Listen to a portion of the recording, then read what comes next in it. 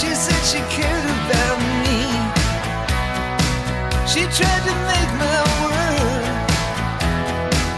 the way she thought.